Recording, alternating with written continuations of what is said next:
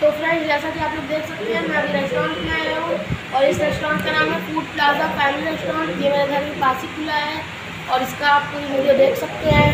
ये देखिए, ऐसा हेलो फ्रेंड्स अस्सलाम वालेकुम।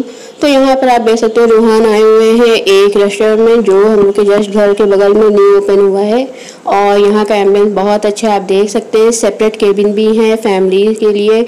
अगर आप साथ में नहीं बैठना चाहते तो आप अलग कैबिन में बैठ सकते हैं और यहाँ का फ़ूड भी बहुत ही अच्छा है। ये जो आपको दिखाया है यहाँ पे कर्टन लगा है तो मतलब ये फैमिली का पूरा सेपरेट है। ये फैमिली का फैमिली के लिए है। और यहाँ पर शीशा लग के सेपरेट हो गया है। और ये देखिए ये यहाँ खुला पे भी है।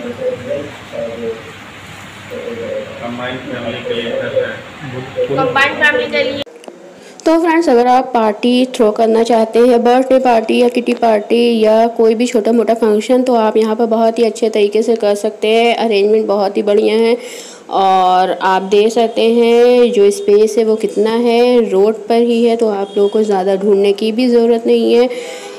आप देख सकते हैं इसका पूरा जो इंटीरियर है वो किस तरह का है।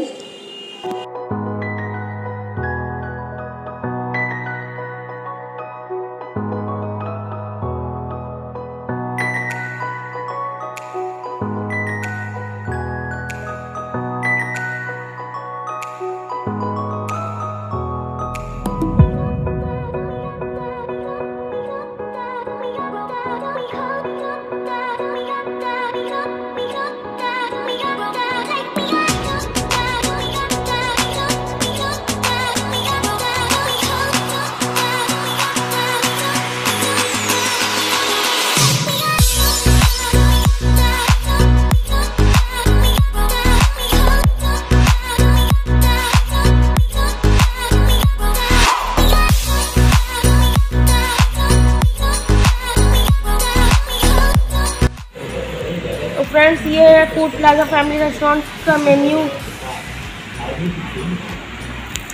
ये आप देख ही सकते हैं।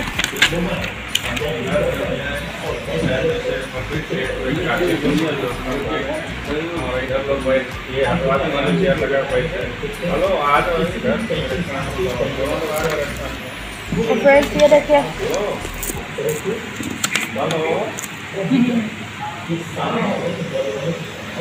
सो फ्रेंड्स यहाँ पर आप देख सकते हैं, एक बर्थडे पार्टी यहाँ पर ऑर्गेनाइज़ की गई है। बर्थडे सेलिब्रेट किया जा रहा है और जगह कितनी स्पेशियस है, आप देख सकते हैं। और खाने पीने का अरेंजमेंट भी यहीं पर था। आप एक बार ज़रूर ट्राई करिए। इस जगह को, यहाँ का खाना बहुत ही अच्छा है। जिन्होंने भी यहाँ का खाना खाया है, बहुत ही तारीफ़ की है।